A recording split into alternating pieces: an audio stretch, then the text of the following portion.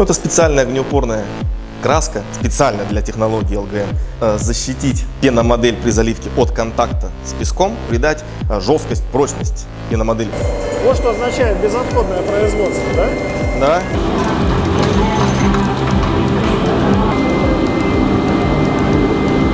Мы провели дополнительные испытания и теперь официально разрешаем топить нашу печь на угле. Здравствуйте, друзья! Уверен, что многие из вас помнят ролик, когда мы посещали производство компании Теплодар и наблюдали за созданием печи Былина. Сегодня мы вновь едем в гости по приглашению компании Теплодар, но на сей раз мы будем наблюдать за процессом создания печи Верона.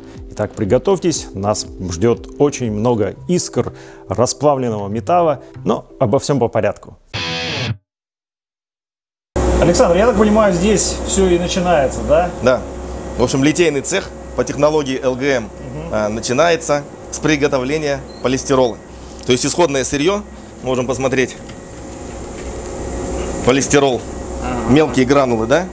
Среди прочего, в этих гранулах находится вещество под названием пентан. Полистирол загружается в это устройство, оно называется предвспениватель. Здесь получается давление, температура, все перемешивается, парит, бурлит, и пентан в полистироле начинает закипать. И тем самым немного его расширяя. Это называется предвспенивание полистирола. Потом он попадает в эту ванну, сушится в течение примерно трех часов и поступает через пневмосистему. О, да-да-да, огромная пневмосистема. Да, и в бак, ну, в силосы для вылеживания. То есть он должен еще вылежаться какое-то время, прежде чем пентан снова сконденсируется в этом полистироле, и его можно будет использовать уже на следующем участке. За этой стеной у нас находится как раз э, Да. хранилище. Да, пенопласта. видно, вон там полистирол сыпется. Далее полистирол, который мы предспенили, высушили и отлежали при помощи задувного устройства, задувается в пресс-форму. Пресс-форма, она состоит из двух частей. Ну, это простая пресс-форма. Конкретно это из трех состоит, да? Вот. И пресс-форма, То есть она по- полая да, внутри. и полость, полость пресс-формы полностью с высокой точностью повторяет будущую модель, которая нам нужна. И эту пресс-форму мы помещаем в автоклав. Там также температура, давление, полистирол, вот этот предспененный, пентан этот снова вскипает, он начинает расширяться, расширяться, а он же ограничен объемом пресс-формы, расширяться ему больше некуда. И шарики расширяются, расширяются и начинают как бы входить в друг друга, да? И это называется уже вспенивание полистирола и изготовление модели. И на выходе у нас получается вот такая модель. Это конкретно модельный автомат, по сути это автоматизированный автоклав. То есть здесь происходит задувка полистирола автоматическая, ее спекание, охлаждение и вакуумирование. И потом пресс-форма раскрывается, оттуда достается готовая пеномодель. Это позволяет значительно сократить время выхода одной модели. Да. Прям несколько раз, по-моему, где-то, да? Ну, я думаю, в 2-3 раза где-то. Потому что для больших деталей, соответственно, и пресс-форма тяжелая. Ее надо загрузить. Вдвоем это нужно делать, конечно же. Спечь ее и потом еще охладить. В ванну бросить. Это все, да, долго, много времени занимает. Александр, вот проходя по цеху, я увидел какие-то изделия совершенно новые, да? Я их еще Да. не видел в, серийном, э, в серийных изделиях. Это что такое? Это новые чугунные дверцы для путей Бейлина. Ага. Так, а, то есть э, стальная дверца уходит, и на смену приходит чугунная Ну, дверца. я, это я, конечно, на этот вопрос не могу на 100% ответить. Это, наверное, к отделу продаж, но я думаю, можно будет выбирать. Хочешь стальную, хочешь чугунную, какая нравится. Они, кстати, будут как вот в исполнении с панелью, да, так и в, в исполнении под стекло. Ну вот, точно. Я как раз и предполагал, что э, само наличие вот такого орнамента, да, рисунка, не Да. же, вот само наличие такого орнамента, рисунка, оно подразумевает, что возможно модификация под стекло. М, как интересно. Вот та самая ножка, которую мы видели у вас в пенопласте, в пенополистироле. Выглядит уже отлитой вот так вот, вполне симпатично. Блестит. Но все равно она будет окрашена потом черной к ней органической эмалью в цвет основного изделия. А здесь у нас на выходе из дробеструйной машины это вот панель ящика зольника. Вот эта крышечка, на нее будет крепиться ручка и будет такая симпатичная дверца Вероны. здесь происходит сушка. Ну, здесь у нас конкретно эта сушка, так скажем, комбинированная. Здесь и пиномодели сушатся, и уже готовые эти модельные блоки, ну, их все называют кусты. Соответственно, здесь нагревательные элементы, осушитель, да, чтобы, чтобы здесь не, не превращалось в баню, чтобы здесь было сухо. И все, и модели сушатся. Мы расскажем нашим зрителям, зачем они, вот эти пенопластовые модели, обмазаны, да? Но это, наверное, уже на следующем этапе. Точнее, на том этапе, который предшествует как раз сушке. Да, все верно. Это участок склейки полистирольных моделей. То есть здесь а, девушки при помощи термоклея и вспомогательных материалов, там, малярный скотч, специальная мастика, а, превращают уже отдельные элементы, превращают в а, готовый вот уже модельный блок. Готовый на, для дальнейшей покраски. Что за материал, которым обмазывают?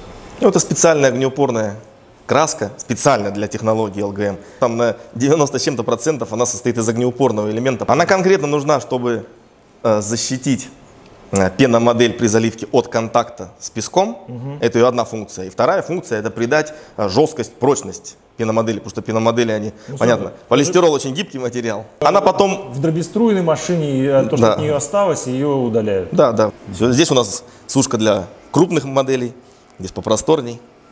Вот. Здесь мы сушим вот топки от былины и корпуса от Вероны. Вот, нам интересно будет, конечно, узнать, как происходит процесс отливки этой печи.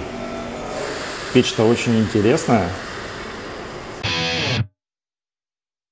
Совсем скоро вот эти две формы будут помещаться в емкость, установленную на вибростол, засыпаться песком и уже пойдут на отливку.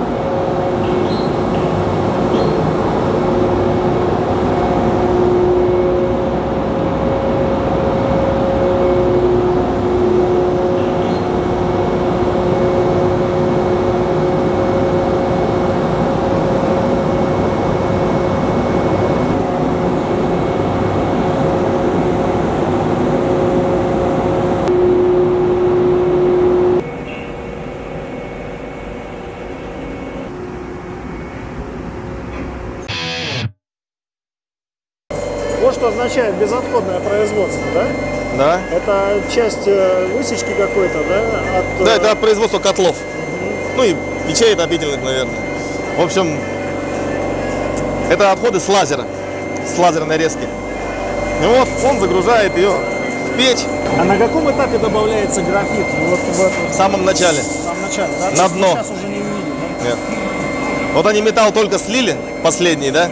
Он сразу же туда ведро графита, другие легирующие материалы и потом уже металл. Перед тем, как э, делать э, плавку, э, мы пойдем, я так понимаю, в лабораторию и посмотрим, все ли у нас хорошо с химическим составом чугуна, который планируется. Конечно, да. Он возьмет пробу, Отольем пробу, да? вот да, в эту, это называется кокиль. Вот. Отольет пробу, обточит, и мы ее на спектрометре прожгем. Если что-то не будет не хватать, то мы ну, добавим, дешихтуем. Давай попробуем провести химанализ той отливки, которую вот сейчас вот мы сделали. Да, устанавливаем, в общем, образец.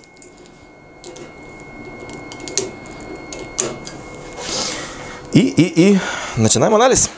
Так, вот это последние э, 22-23C.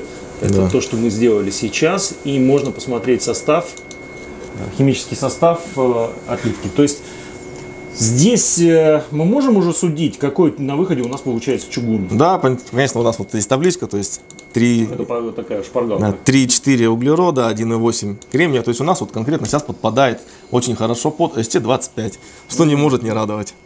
Самое главное вот показатели в чугуне серофосфор, да, серофосфор в 10 раз ниже, чем по ГОСТу. Это как раз вот вопрос о том, что мы на хорошей стали работаем, да? Потому что серофосфор дают хрупкость чугуну.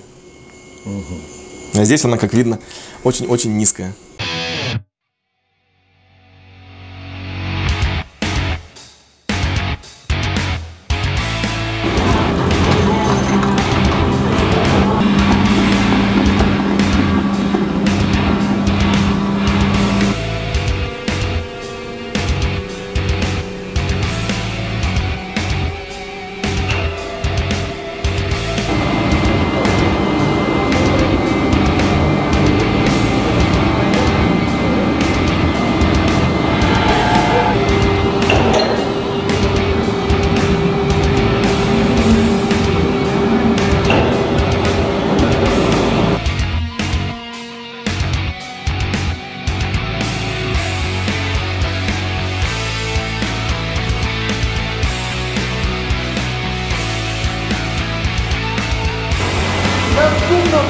Хорошо?